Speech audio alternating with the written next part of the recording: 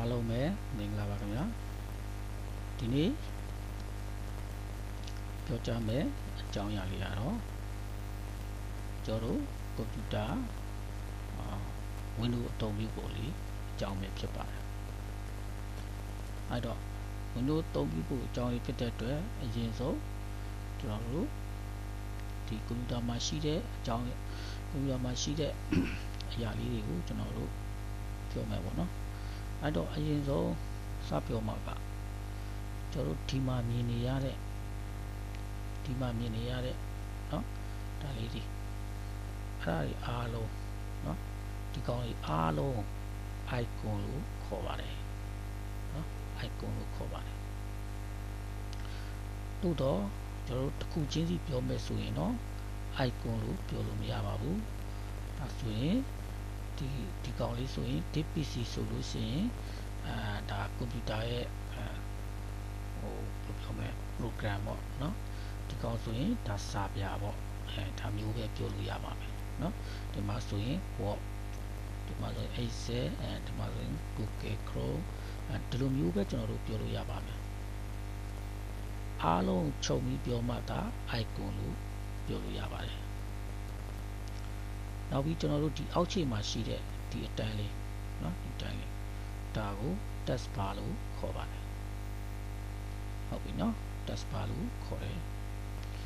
ဟုတ်ပြီကျွန်တော်ဒီနေ့ပြောမှာကဒီ icon လေးတွေကိုကျွန်တော်တို့အကြီးအသေးပြောင်းလဲအောင်လုပ်ပြမယ်ပေါ့เนาะတကယ်လို့ကိုကိုတိုင်ကအာကြီးကျင်းတာပဲဖြစ်ဖြစ်เนาะပုံမှန်တိုင်းကြီးထားချင်တာပဲဖြစ်ဖြစ်လုံးလုံးတက်အောင်ရဲ့တစ်ချက် နောက်တစ်ချက်ကဘာလဲဆိုလို့ရှိရင်အဲကိုကလောက်တာတော့မဟုတ်ဘူးကိုကိုတိုင်းဟာနှိပ်မှားသွားလို့ဖြစ်သွားတဲ့အခါမျိုးဒါမှမဟုတ်ရင်လည်းတရားရောက်ကနှိပ်လိုက်လို့ဖြစ်သွားတဲ့အခါမျိုး icon ကြီးပြောင်းလဲသွားတယ်အကြီးဖြစ်သွားတယ်အသေးဖြစ်သွားတယ်ဒါမျိုးတွေဖြစ်သွားတယ်ဒါဆိုကျွန်တော်တို့ဘယ်လိုပြန်လုပ်မလဲเนาะအာလွယ်ကူပါတယ်เนาะကျွန်တော်တို့အဲ့တော့ကျွန်တော်တို့ဒီ mouse pointer လေးကိုကွန်ပျူတာရဲ့ ဒီ icon တွေမှာမထားဘဲနဲ့ဒီလိုလွတ်တဲ့နေရာမှာထားရမှာဖြစ်ပါတယ်ပြီးရင်ကျွန်တော်တို့ mouse က right click ကိုနှိပ်ပါနှိပ်ပြီးွားရင်ဒီနေရာမှာ view ဆိုတာရှိတယ် view တွေကကျွန်တော်တို့ဒီမှာ less icon ရှိတယ် media icon ရှိတယ် small icon ရှိတယ်ဒီသုံးခုတွေကကိုကြိုက်တဲ့တက်ရအောင်ထားလို့ရပါတယ်အဲခုနလိုမျိုးနှိပ်မှားသွားလို့ဖြစ်သွားရင်လည်းဒီနေရာမှာလာပြီးတော့ပြောင်းလဲပေးလိုက်ရုံပါပဲ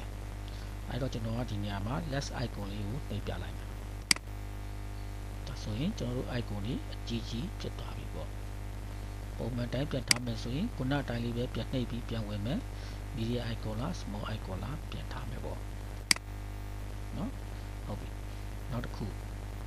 နောက်တစ်ခုကဘာလဲဆိုလို့ရှိရင်ကျွန်တော်ဒီ icon လေးတွေကိုရွှေ့လို့ရအောင်လုပ်ချင်တာလားဒါမှမဟုတ်ရင်ရွှေ့လို့မရအောင်လုပ်ထားချင်တာလား ကိုကြိုက်သလိုလုပ်လို့ရပါတယ်ဟုတ်ပြီနော်ကဲဥပမာဆိုတော့ကျွန်တော်ဒီ word ဆိုတဲ့ word 2013ဆိုတဲ့ icon လေးကိုကျွန်တော် mouse က left click လေးကိုဖိထားမယ်နော် pointer လေးကိုရွှေ့လာမယ်ရွှေ့လာမယ်ဆိုဒီတိုင်းဆိုရင်ပါလာတယ်ဟိုထားခြင်းတဲ့နေရာရောက်ပြီဆိုတော့မှလွှတ်လိုက်မယ်ဒါဆိုလို့ရှိရင် icon ကအမှန်ဆိုရင်ပါလာရမယ်ဒါပေမဲ့မပါလာဘူးဒီနေရာမှာပဲပြင်ရှိနေတယ် နောက်တစ်ခုကျွန်တော်ပြန်ဆွဲပြမယ်ဒီကောင်လေးဆွဲထုတ်တယ်ဒီနေရာမှာထားခြင်းနဲ့လွှတ်လိုက်တယ်ဒါပေမဲ့မရောက်လာဘူးဒီနေရာမှာဒီနေရာပဲပြန်ရောက်နေတယ်အဲ့ဒါဘာကြောက်လဲဆိုတော့ကျွန်တော်တို့ကဒါဒီ icon လေးတွေကိုရွှေ့လို့မရအောင်လုပ်ထားတာဒါကြောင့်ရွှေ့လို့မရဘူးပေါ့ဒါဆိုကိုကရွှေ့လို့ရကျင်တယ်ဆိုရင်တော့လုပ်တဲ့နေရာမှာ pointer မြှားထားမယ် right click ပြီးလို့ရှိရင် view တွေက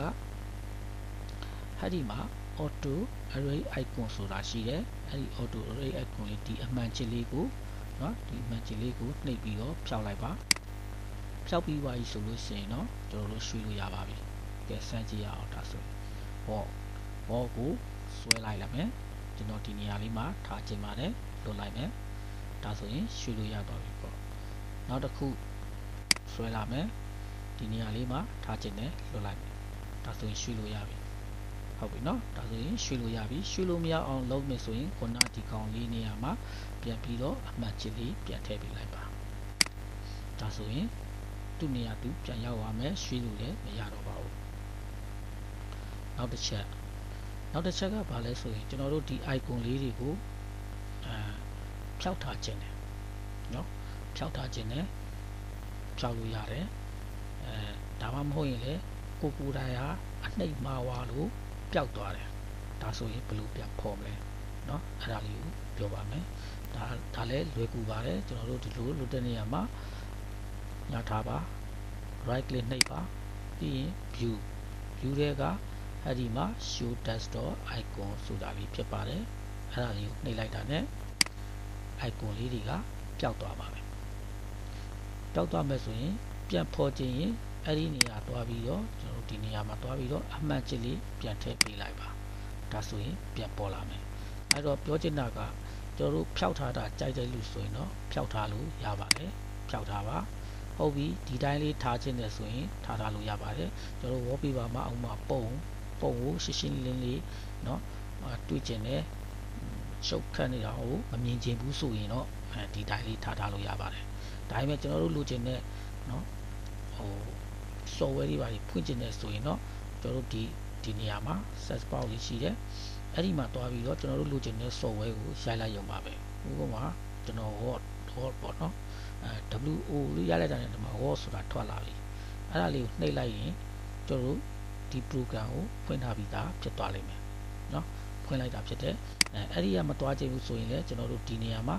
right click နှိပ်လိုက်ပါပြီးရင်ဒီဘက်ချမ်းမှာရှိတဲ့နော် ကိုဖွင့်ချင်တဲ့ software လေးတွေကိုဒီမှာတွားပြီးတော့လိုက်ရှာပြီးတော့ဖွင့်လို့ရပါတယ်เนาะဒီမှာဆိုရင် all app ကိုနှိပ်လိုက်လို့ရှိရင်ခဏလေး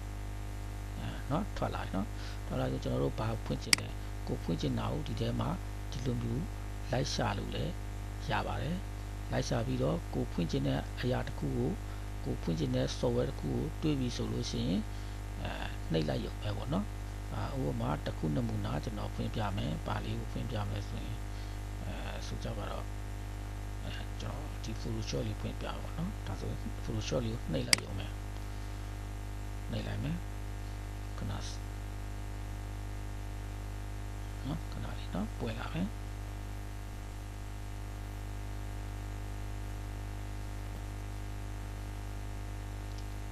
နော်ဒီမှာပွင့်လာပါပြီနော် Photoshop ပွင့်လာပါပြီ ဆက်နေလေးနေတယ်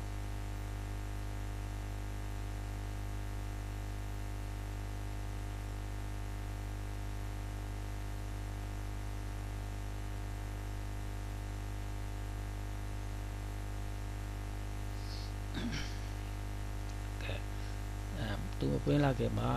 ကျွန်တော်ပညာလေးတစ်ခုဝင်ကြည့်ဝင်ပြစေအဲ့ဒါတော့တခြားမဟုတ်ပါဘူးကျွန်တော်ရဲ့ YouTube channel လေးကို like and subscribe လေးလည်းလုပ်ပြီးသွားဖို့မမေ့ပါနဲ့အောင်လို့ကျွန်တော်တောင်းဆိုပြစီကျေးဇူးအများကြီးတင်ပါတယ်နော်โอเคပါအခုပြောတဲ့အကြောင်းအရာတွေကကွန်ပျူတာကိုတခါမှအသုံးမပြုဘူးတဲ့သူတွေเนาะအခြေခံကနေပြီးတော့စပြီးတော့တည်ကျင်တဲ့လူတွေအတွက်ကိုရည်ရွယ်ပြီးတော့ကျွန်တော်ကပြောကြားပေးတာဖြစ်ပါတယ်ခင်ဗျာဒါဆိုရင်ဒီမှာ Photoshop လေးတော့ပွင့်လာပြီเนาะအဲပွင့်လာပြီဒါဆိုရင် Photoshop ပွင့်သွားပြီเนาะ ပြန်ပိတ်လိုက်ပါမယ်အဲ့တော့ကျွန်တော်တို့ကဒီလိုမျိုးတွားပြီးတော့ဖွင့်လို့ရတယ်ဆိုတာကိုသိစေချင်တာဖြစ်ပါတယ်အဲ့တော့ကျွန်တော်တို့ကအဲ့လိုတော့ဖွင့်ရတာကိုယ်စိတ်ထဲမှာရှုပ်တယ်ထင်တယ်ဆိုရင်တော့ပြန်ဖော်ထားလိုက်ပါเนาะဒီနေရာမှာအမှန်လေးချစ်ပြီးတော့ပြန်ဖော်လိုက်ပါဒါဆိုလို့ရှိရင်ပြန်ပေါ်လာပါလိမ့်မယ်เนาะဟုတ်ပြီနောက်တစ်ချက်နောက်တစ်ချက်ကဘာလဲဆိုတော့ကျွန်တော်တို့ဒီနေရာမှာဒီနေရာမှာ နိုင်ပုံလေးရှိပါတယ်နိုင်ရဲ့အဲနိုင်ရဲ့ရက်ဆွဲရဲ့ရှိပါတယ်အဲ့ဒီနိုင်နဲ့ရက်ဆွဲလေးရဆိုလို့ရှိရင်အာဟိုဘယ်လိုပြောမလဲဆိုတော့နိုင်မှန်ဒီပစ္စည်းမာဒီပစ္စည်းတို့မဟုတ်ရက်ဆွဲမှားဒီပစ္စည်းမှန်ဒီပစ္စည်းတခုခုပေါ့နော်ကိုကမှားနေလို့ပြန်တိုက်ချင်တယ်ဆိုရင် အဲ့ဒီဘယ်လိုတိုက်ရမလဲဆိုတဲ့အပိုင်းလေးကိုပြောပြပေးသွားမှာဖြစ်ပါတယ်အဲ့တော့ဒီနာယီနဲ့အဲ့ဒီရက်ဆွဲလေးကတော့မှန်နေဖို့လိုပါတယ်เนาะမှန်နေဖို့လိုပါတယ်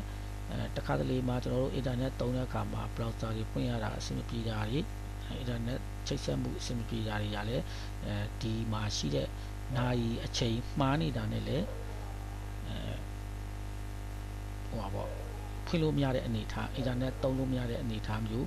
ဖြစ် ကြုံတတ်ပါတယ်ပေါ့နော်ကြုံတတ်ပါတယ်နောက်တစ်ခုကကျွန်တော်တို့ဒီမှာရက်ဆွဲမှားခြင်းအပြင်ကျွန်တော်တို့ Excel တွေပါတွေမှာဆိုရင်ကျွန်တော်တို့ရက်ဆွဲတွေပါတွေရေးမယ်ဆိုရင်လည်းရက်ဆွဲတွေကမှားတတ်ပါတယ်เนาะဒါကြောင့်မလို့ဒီမှာနိုင်နဲ့ရက်ဆွဲလေးကိုတော့မှန်ဖို့လိုပါတယ်အဲ့တော့တခုရှိတာကကျွန်တော်တို့နိုင်ရက်ဆွဲလေးကိုမှန်အောင်တိုက်လိုက်တယ်ဆိုကြပါစို့မှန်အောင်တိုက်ပြီးသွားပြီဆိုလို့ရှိရင်ဒီနေ့တိုက်လိုက်တယ်နောက်နေ့မှာကျွန်တော်ကွန်ပျူတာပြန်ဖွင့်ပြီးပြန်တုံးတဲ့ချိန်မှာ နိုင်ရက်ဆွဲမှားနေတယ်မမှန်တော့ပြန်ဘူးပြန်ဖြစ်တယ်အဲ့ဒါကတော့တခြားဘာကြောင့်လဲဆိုလို့ချင်းတိုက်လိုက်တာတော့နိုင်တော့တိုက်လိုက်တယ်တိုးတော့နောက်နေ့မှာရက်ဆွဲနဲ့နိုင်ရမှားနေတယ်ဆိုတာကကိုယ့်ရဲ့ကွန်ပျူတာထဲမှာရှိတဲ့ကျွန်တော်တို့เนาะကွန်ပျူတာမာသာဘုတ်မှာရှိတဲ့တက်ခဲလေးတေးသေးလေးရှိတယ်เนาะအဲ့ဒီကောင်လေးက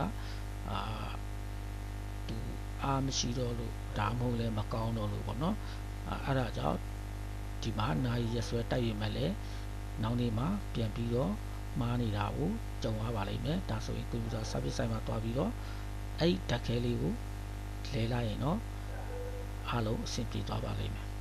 ဟုတ်ပြီဒါဆိုရင်ကျွန်တော်တို့နိုင်ရက်ဆွဲလေးတိုက်တာကိုကျွန်တော်တို့စပြီးတော့ပြောမယ်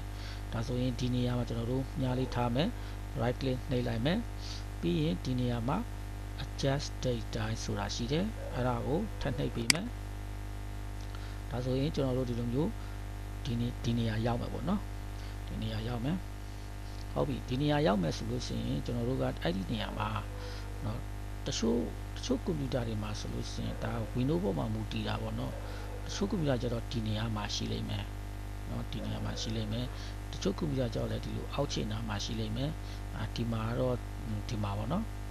အဲ့တော့ကျွန်တော်တို့ကဘာကိုနှိပ်ရမလဲဆိုလို့ရှိရင်ဒီမှာ additional data and region setting ဆိုတာကိုကျွန်တော်တို့တစ်ချက် click ပါ click လိုက်ရင်ဒီတာမျိုးထပ်ပေါ်လာမယ်ဒါဆိုရင်ကျွန်တော်တို့ဒီမှာ date and time ဆိုတာလေးကိုနှိပ်လိုက်ပါနှိပ်ပြီးသွားလို့ရှိရင်ဒီမှာ change date and time ဆိုတာကိုထပ်နှိပ်ပါဒါဆိုရင်ဒီမှာရက်ဆွဲမှရင်ရက်ဆွဲတိုက်လိုက်ပါเนาะရက်ဆွဲတိုက်လိုက်ပါနိုင်မှရင်ဒီနေရာမှာကာဆာလေးချပြီးတော့เนาะ ကန်ဆာလေးချပြီးတော့ဖြတ်လိုက်ပါဖြတ်ပြီးတော့ဟာကီးဘုတ်ကနေပြီးတော့နိုင်ကနန်းပြန်ရိုက်ထည့်လိုက်ပါအားလုံးပြီးသွားရင်တော့ okay နှိပ်လိုက်ပါ okay နှိပ်ယူရလို့ရင်ကျွန်တော်တို့ဒီမှာ chain time zone ဆိုတာဒါခုနိုင်ငံတစ်ခုနဲ့တစ်ခုပေါ့နော်နိုင်ဟာပေါ့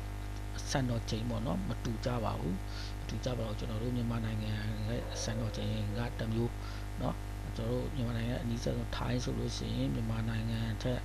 နိုင်ဝက်စောပါတယ်เนาะနိုင်ဝက်စောပါတယ်အဲ့တော့တိုင်းစုံမှာဒီမှာပြောင်းလို့ရပါတယ်ဟိုเนาะဒီနေရာမှာကိုကိုရဲ့အာဘာဘေးနိုင်ငံလဲဘေးနိုင်ငံရဲ့နိုင်စံတော်ချိန်ကိုလူကျင်တာလဲဆိုတာကိုဒီနေရာမှာတွားပြီးတော့ရွေးချယ်ပေးလို့ရပါတယ်เนาะဟုတ်ပြီဒါတွေအားလုံးပြီးရင်တော့ okay okay ဆိုပြီးတော့နှိပ်ပြီးတော့ထွက်လာပေးလိုက်ပါเนาะပြီးလို့ရှိရင်ဒီကောင်လေးကိုပြန်ပိတ်လိုက်ပါเนาะပြန်ပိတ်လိုက်ပါဒါဆိုလို့ရှိရင်နိုင် တိုက်တဲ့အနေထားကိုဖြစ်သွားတယ်เนาะနိုင်မှန်သွားပါလိမ့်မယ်ပေါ့เนาะကဲအဲ့တော့ဗီဒီယိုဖိုင်ကကျွန်တော်တို့အရန်ကြီးရှေ့သွားမှဖြစ်တဲ့အတွက်ဒီနေ့ကတော့ဒီသင်ခန်းစာလေးနဲ့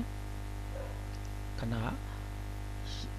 ရက်လိုက်ပဲပေါ့နော်ခဏရက်လိုက်မယ်အဲတော့ခုမှကွန်ပျူတာကိုစာပြီးလေ့ကျင့်တဲ့လူလေးတွေကဒါလေးတွေကိုတေချာအာတော့လိုက်ပြီးတော့လုပ်ကြည့်ပါပြီးရင်တေချာစွာ အာမှတ်သားထားပါပေါ့နော်ဒါမှကိုယ့်ရဲ့ကွန်ပျူတာမှာဘယ်နေရာမှာပါဘယ်နေရာမှာပါဘာလုပ်ရမလဲဆိုတာကိုဟိုကိုသိမှာပေါ့နော်ကြည့်လို့အများကြီးတင်ပါတယ် thank you ပါ